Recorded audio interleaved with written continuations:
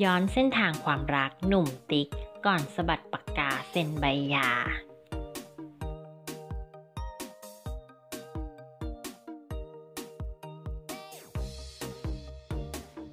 ย้อนไปเมื่อวันที่ 21 กันยายน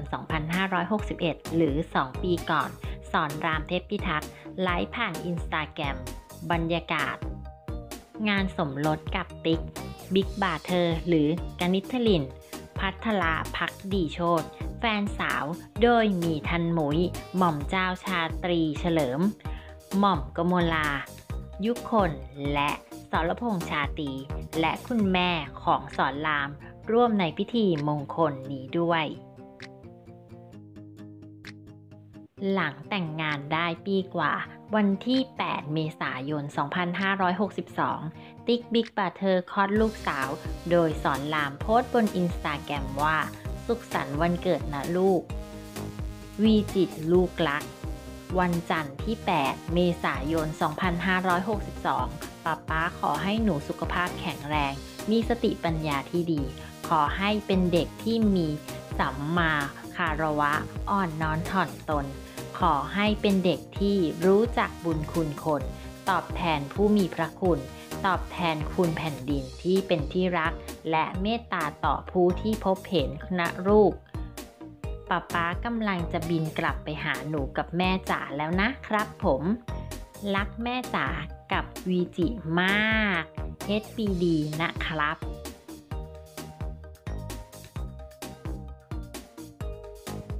ต่อมาในวันที่ 21 กันยายน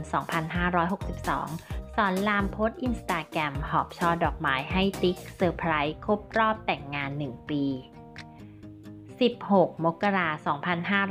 2563 สอนรามลงบันทึกประจำวันที่สอนอสุทธิสารว่าเงินในบัญชีหายไป 400,000 บาท ก่อนไปถอนแจ้งความ มีเสียงวิพากษ์วิจารณ์ว่าเป็นเรื่องภายในครอบครัว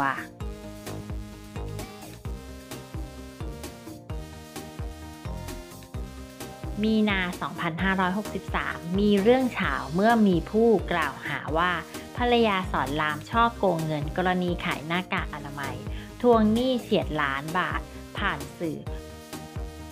จนสอนรามต้องออกมาไลฟ์ชี้แจง แต่ก็มีดราม่าเพราะระหว่างไลฟ์ติ๊กบิ๊กบาเธอก็เข้ามาคอมเมนต์ผู้ที่แสดงความคิดเห็น จนเกิดเสียงวิพากษ์วิจารณ์ ต่อมาทั้งคู่ตกลงกับคู่กรณี ชดใช้คืนเรียบร้อย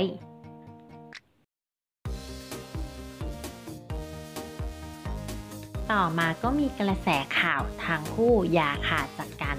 แต่แล้ววันที่ 13 เมษาที่ผ่านมา ศรรามก็สยบข่าวด้วยการยกเค้กเซอร์ไพรส์วันเกิดภรรยา จากนั้นก็มีข่าวว่าทั้งคู่หย่าขาดกันแล้วติ๊กบิ๊กบราเธอร์ยอมรับหย่าขาดกันจริง เพื่อแก้เคล็ดหลังจากถูกพระทักว่าหย่าแล้วชีวิตจะดีขึ้น แต่ยืนยันว่ายังใช้ชีวิตคู่ สถานะสามีภรรยาเหมือนเดิม 27 เมษายน 2563 ติ๊กบิ๊กบราเธอร์ออกมาโพสต์เตรียมมีน้องให้ลูกสาว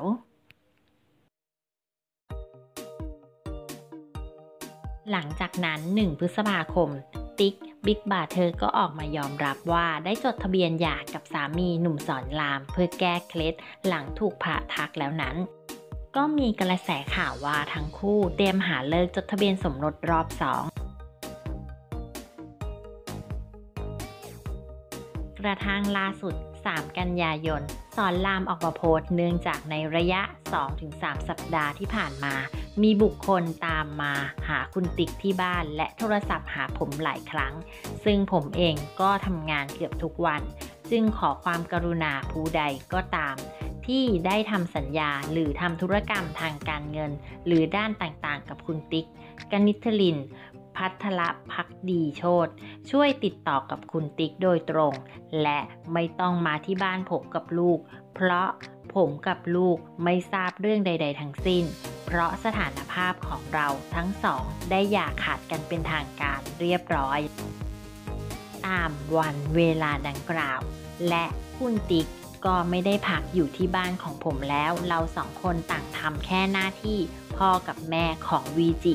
ตามข้อตกลงที่ระบุตามเอกสารที่ระบุไว้เท่านั้น ขอบพระคุณครับ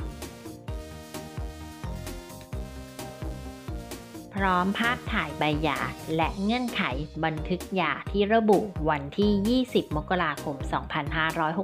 2563 ยืนยันว่าทั้งคู่หย่าขาดกันตั้งแต่ต้นปี และไม่ได้กลับมาจดทะเบียนสมรสกันอีกครั้ง